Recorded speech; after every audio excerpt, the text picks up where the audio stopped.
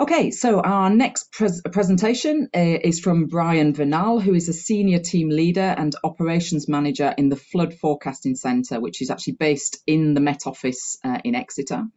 Uh, he joined the Environment Agency in 1997, initially worked in uh, the Water Resources team, and then in 2001 he started working uh, in flood warning as part of um, his role as a team leader there. And then following the 2007 floods that happened in the UK uh, and the subsequent government review, um, it led to the setting up of the Flood Forecasting Centre, and that's uh, a part of what Brian's going to talk about today, looking at how we forecast for extreme events uh, in the UK, particularly focus on 2022, and should we export, expect more of these events in the future? So over to you, Brian. It is. Good afternoon, everybody. Uh, thank you for inviting me to uh, come talk to you today. Uh, I'm just going to show my screen. Get going. So, hopefully you can now all see my screen. So yeah. for the invite to come and talk to you today. Uh, thank you for covering my career history there as well. Uh, interesting to reflect on the previous speakers we've just had, that there's so much collaboration that goes on in this world. So CEH are very much a partner of ours in what we do. Um, I started my career back in 97, as you heard. Uh, I remember some very dry chalk streams in Kent during the 90s.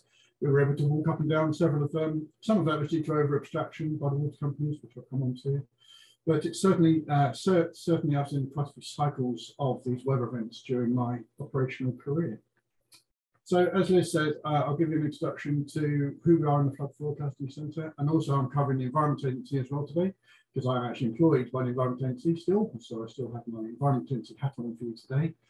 I'll go through some of the events that we had in 2022, and then I'll cover what we're doing in the science world um, and the meteorology world to try and prepare ourselves better for these high impact events in the future. So who are we in the Flood Forecasting Centre? We are a working partnership between the Agency and the Met Office. We're funded by DEFRA and we have a contribution as well from Welsh Government. So we cover England and Wales. We're primarily, uh, well, we are based down in the Met Office down in Exeter, although a lot of it is done remotely now, as, as we're all aware.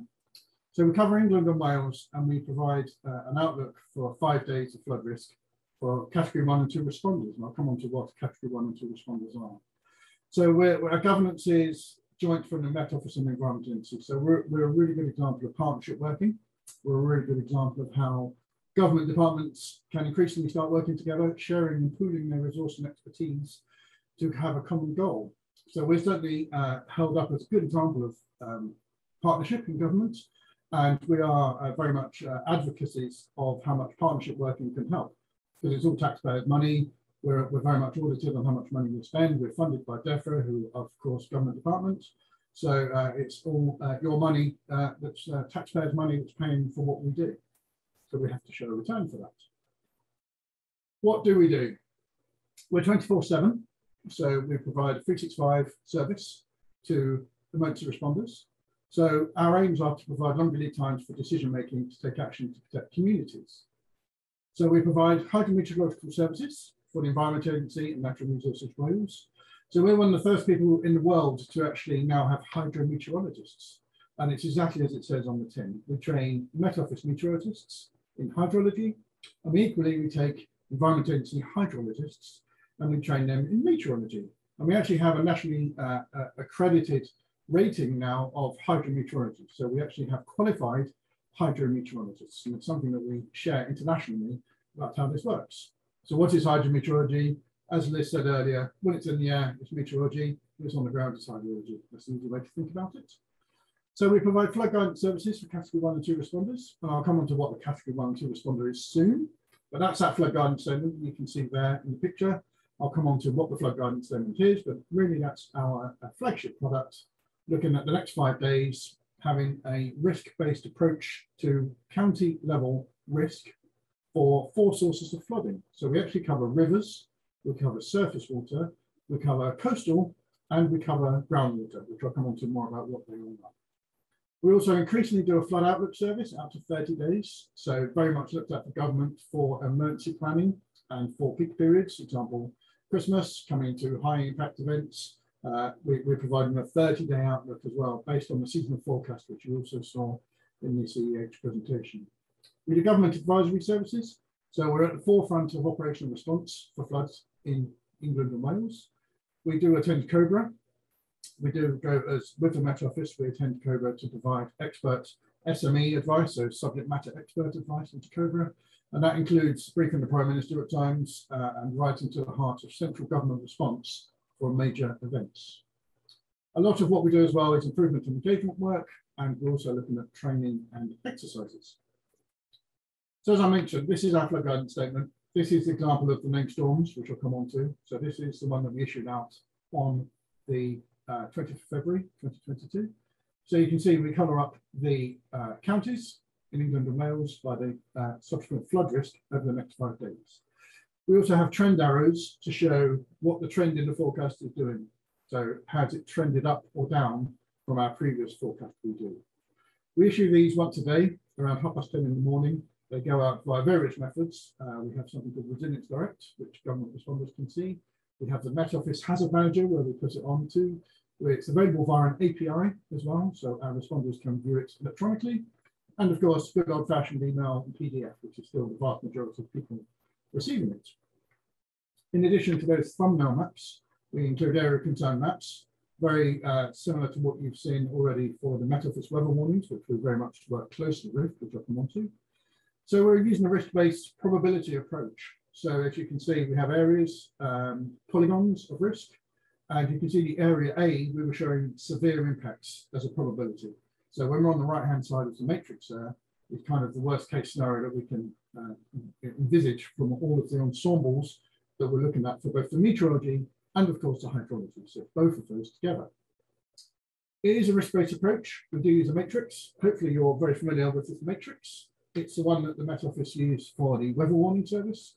And like I said, we're very, very closely aligned with the Met Office weather warning service. We are based in the Met Office.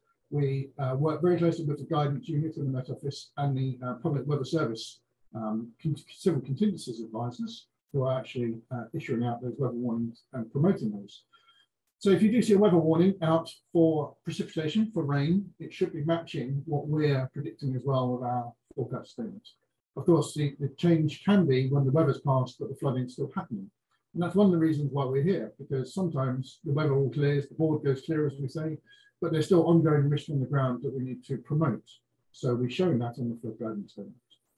So it's a risk versus uh, impact versus likelihood matrix. So as you can see on the left-hand column, we have minimal impacts, and then we move to minor impacts, significant or potentially severe. So it's very important we tell people not to just go by the colours. People say, oh, yellow warnings issued, amber warnings issued, red warnings issued. As you can see on the matrix, there's various colors of yellow. Um, you can have a medium likelihood of minor, which is pretty much a business as usual forecast, or you can have a very low likelihood of severe, probably with longer lead time. When we're up in these sort of columns, that's when the consultancy service we do really kicks in, where we start telling people to be aware and start uh, thinking about the emergency plans and what's happening. Of course, though, a red is a red. A red is a high likelihood of severe impacts. So if you ever see a red, take action. Those impacts are very much based on the um, flood warnings from the Environment Agency as well. So the Environment Agency issue flood warnings when rivers are actually responding. So they're more of an operational response to a river actually responding to the rainfall with much shorter lead times. We're looking at probabilities, we're looking at five-day lead times. So we have to use probabilistic forecasting and the matrix, which of course gives all those inherent problems about is the forecast right, how accurate is your forecast, etc. Um, I'm always saying to my team, there's no such thing as a wrong forecast, it's always our best uh, estimate of what's happening at the time. And the other thing to stress on our flood guidance statement as well is it's a reasonable worst case. So that's how we, we couch it for our responders. We tell them to prepare for the reasonable worst case. So probabilistically, it might not happen, but there is still some chance of it happening in the ensembles that we need to be thinking about and be aware of. So the Environment Agency as well. Uh, for those of you that don't know, it's a public body established in 1996. Uh, it is part of DEFRA. It's one of the quangos, as it was called when it was set up. So it's non-political. It is uh, a regulatory body, and it has responsibilities for protection and enhancement of the environment in England only. It was England and Wales when it was set up, but through various devolution processes, the Environment Agency is England only now. So we're responsible for regulating all of our major industry and waste. We can treat contaminated land. We look after water quality. We look after fisheries.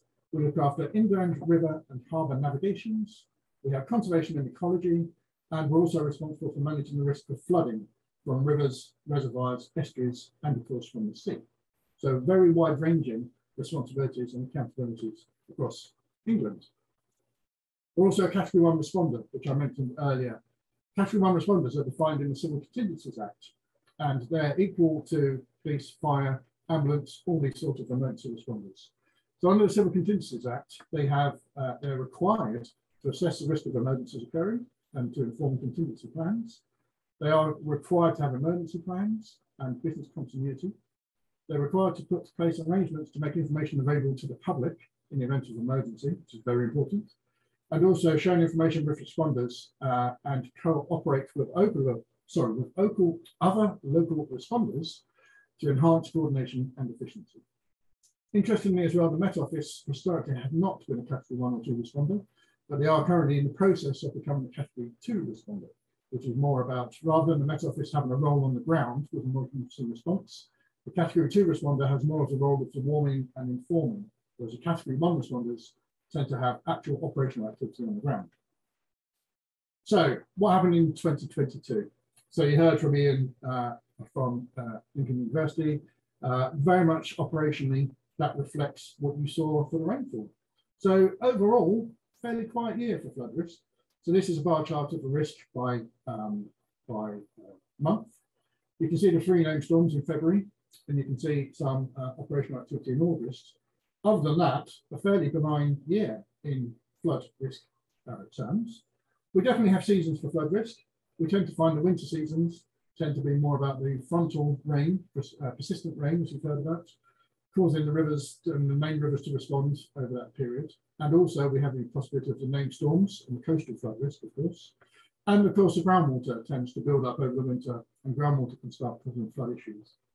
Through the summer months, we then have much short lead time events, but they tend to be the high impact convective storms.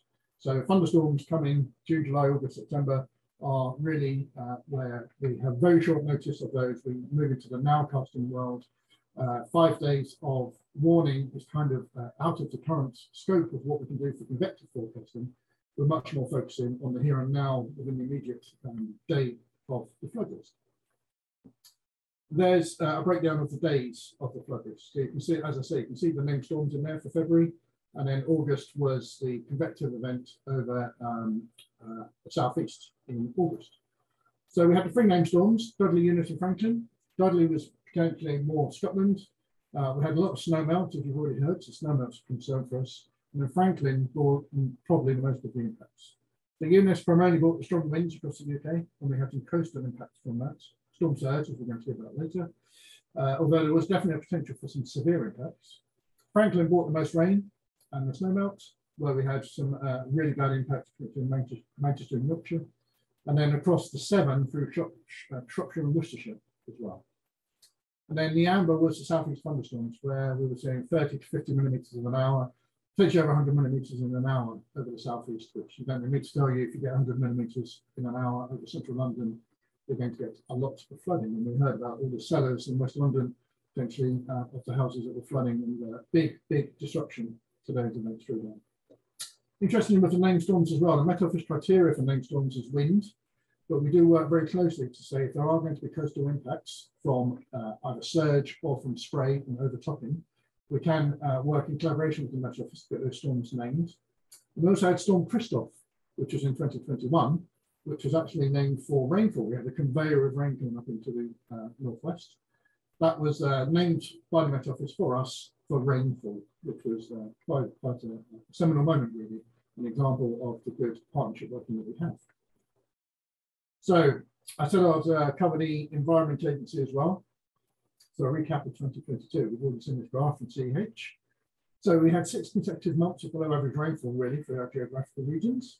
The driest summer since 95, the driest summer on record in six hydrological areas, and it was hottest summer on record in England.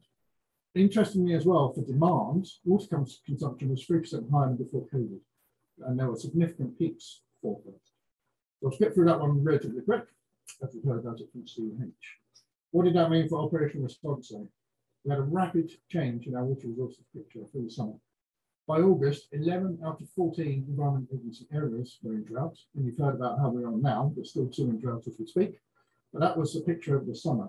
So reservoir storage levels were down 49% of the total capacity. Public water supply usage restrictions covered 19 million people.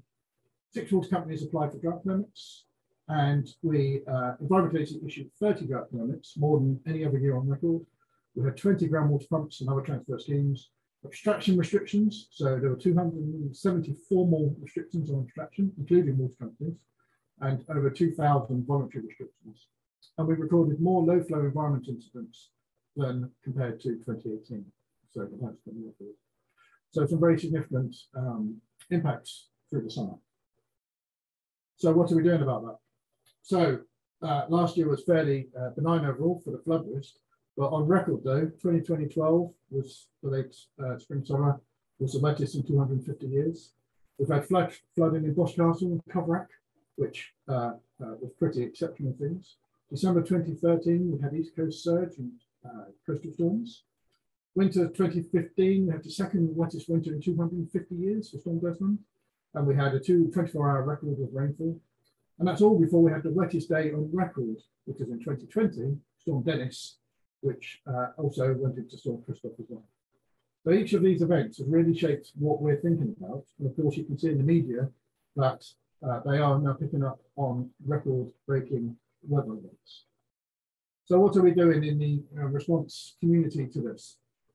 We're science figuring to the uh, National Security Risk Assessment. So the National Security Risk Assessment is the big overarching government assessment of national risks.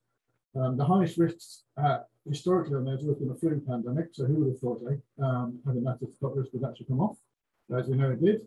But we had coastal risk on there as well as one of the biggest risks to this country as a uh, large scale impact event.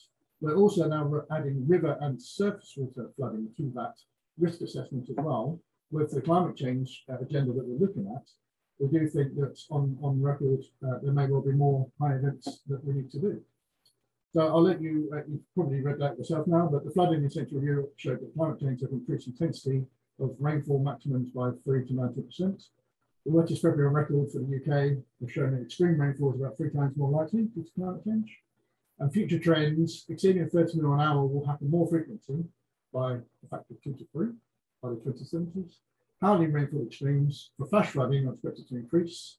And the unseen methodology has been applied to summer daily precipitation extremes China for a damaging storm in July, which led to surface water flooding, increases in the daily rainfall of 50 to 100% are plausible. So all things we need to plan for. So we have the National Flood Resilience Review that we've been looking into. So the Met Office and EA will work closely to scope and investigate the benefits of an ambitious long-term approach to integrate meteorology and flood risk modeling, marking and We're going to deliver this long-term approach with new science and analytical techniques, and we will be encouraging the research community to engage with the Met Office and environment in the development of our next generation of integrated flood risk assessments. We're going to have a step change, a fully coupled uh, uh, approach to multi-hazard prediction. So uh, not just uh, using the global models, uh, using the hydrology models, using the land surface, using the sediment models, using the wave models. So a fully coupled model is where we're moving towards. So fully integrated in with all of the factors feeding into each other to help us have that fully integrated model for multi-hazard prediction. We're also going to have uh, fully integrated hydromet capabilities. So uh, CEH have a model for grid-to-grid that we use. Um, the grid-to-grid model fully integrates all of the uh, uh, times and capabilities across time and space into one unified model that we're going to have uh, for, for forecasting. So the benefits are uh, to capitalize on the media ensemble, uh, potentially using machine learning is something that we're very much into. Um, we're going to capture the uncertainty of convective precipitation, and we're going to hopefully provide longer lead times for best products and work on extreme worst case scenarios. So rather than just reasonable worst case, starting to think about extreme worst cases as well. So I'm just aware of the time as well, so I'll just step up this slightly. So we're looking at fully integrated hydrology would also be able to enable us to have real-time inundation modeling, which is kind of the holy grail of flood forecasting. So inundations when a river comes out of bank and where it goes basically into the floodplain. We're looking at urban scale inundation modeling for a 300 meter model. And we're going to have consistent hydrological components to enable us to have a robust comparison between the historical and future changes. The Environment Agency are producing a flood hydrology roadmap, which we're very much involved with in the Flood Forecasting Centre. And we're looking at a vision for the next 25 years. So we're having a clear vision that is going to have, uh, society will have improved information about hydrological information to manage flood hazards, flood hydrology and the whole system process, as I've already mentioned, and also leadership and collaboration are key to uh, achieve this vision. So how are we going to prepare for the future? We're going to uh, look at the atmospheric weather and climate models that require large supercomputing facilities. So part of the excellent partnership working is we do have use of the supercomputer in the Met Office. Part of the funding case for the next generation of the Met Office supercomputer was collaboration with uh, the environment models as well. So we're very much integrated into that. We're going to integrate our hydrometeorological processes to be part of an integrated modeling system. We're going to bring together the flood prediction and the water resource modeling. And we're going to have seamless risk forecasting across space-time from minutes up to decades is the, is the ambition. Working with CEH, we have Hydro-JULES, which is a project which has the potential to change the nature of our hydrological modeling to ensure we're fit for the impact prediction. Uh, and we're also working internationally with this as well. But the key really is capitalize and deliver through partnerships. That's what we're doing in the space of working with the emergency responders to prepare for the uh, impacts of these future events. So the title of my talk was, should we prepare for more frequent high impact events? Yes, we should. The science is there, the evidence is clear that we're, as I just showed you, that we're going to have these high impact events happening more frequently in the future. So we're encouraging our emergency response community to be prepared for that. So it's hope for the bad, um, prepare for the worst and hope for the best. So you need to be able to respond to multiple high impact events.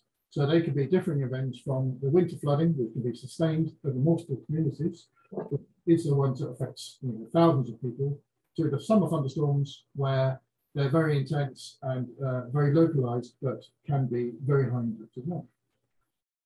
So I'll pause there, thank you, Liz. Hopefully that will come across okay.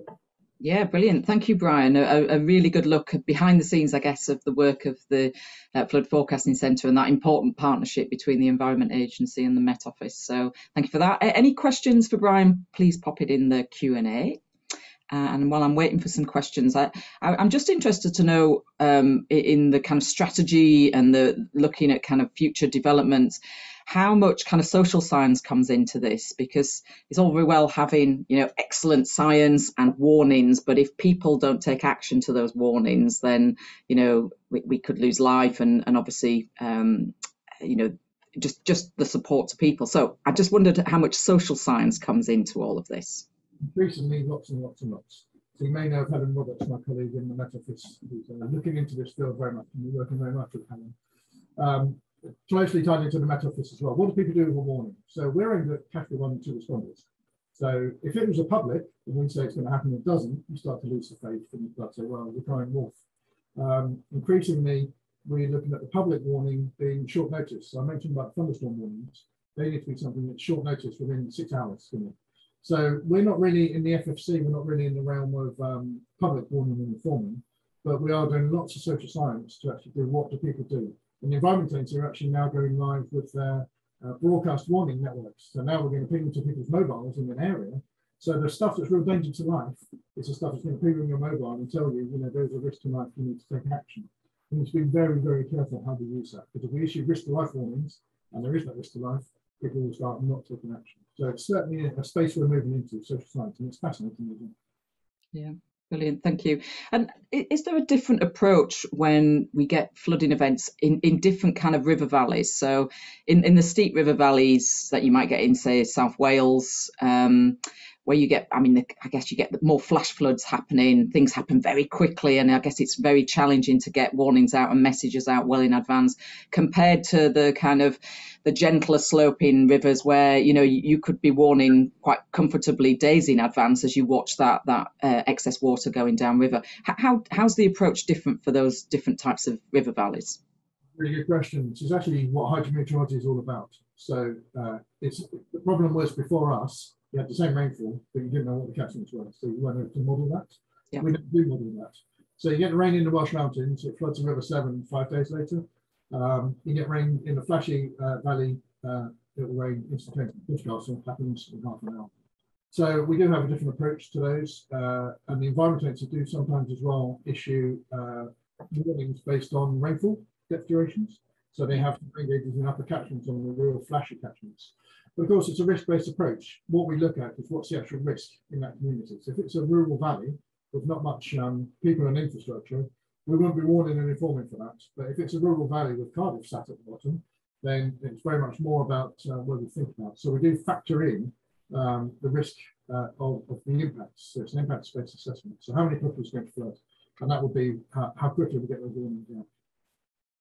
Great, thank you. Uh, and Edmund just asked the the flood stripes that you showed for 2022 is a really good visual way of kind of showing uh, the flood warnings. Um, is there somewhere that you can look over a range of previous years, so multiple years, uh, on a UK based or sub region kind of level? Uh, we can. We, we have our data going back to 2009 when we started. Yeah. Um, it's publicly available if people want it. Uh, we have a website, so if you just Google flood forecasting centre, you'll see uh, an email address. You can you can request that data from us. Um, but yeah, it's really good. We have a guy in our team who's really into that visualization. We started just using the chat GTP thing. So yeah. the AI, he started developing scripts to do even turbo stuff. So a great visualization tool. There's a guy in my team who loves it, and uh, I'm encouraging to do more and more. Brilliant. Okay, well, thank you very much, Brian. Um, you'll be joining us obviously for the question and answer later on. So if there are any further questions for Brian, then we can we can come back to those then. Brilliant. Thank you.